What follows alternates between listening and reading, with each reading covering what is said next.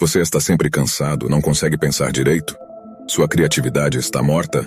Sua mente está fraca. Esse vídeo é para você. Já deixe seu like e se inscreva para mais. Quatro dicas para uma mente forte. É possível manter a mente forte apesar de toda essa influência negativa. Tenha foco. Ter uma mente focada é estar com meio caminho andado rumo a uma cabeça forte. Quem tem um objetivo, seja ele pessoal ou profissional, trabalhará duro para conquistá-lo.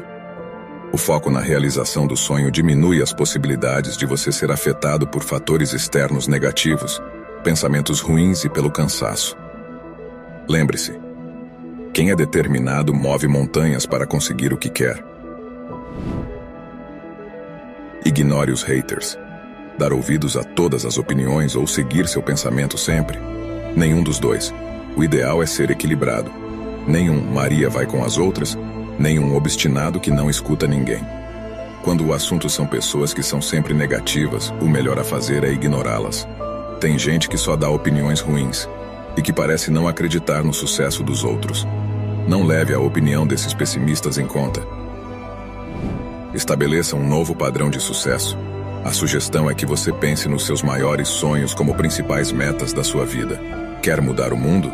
Ganhar muito dinheiro? Que seja. Busque isso e não pense pequeno. Dessa forma, seu foco aumentará e a influência de fatores que possam minar sua força mental será menor. Não trabalhe até a estafa. Estabeleça grandes metas, mas se lembre que não é possível batê-las em pouco tempo. Por isso, não trabalhe até a exaustão completa. A estafa desencadeia vários sintomas físicos e psicológicos. Ou seja, um pequeno tempo com trabalho demais e sono de menos pode trazer problemas duradouros.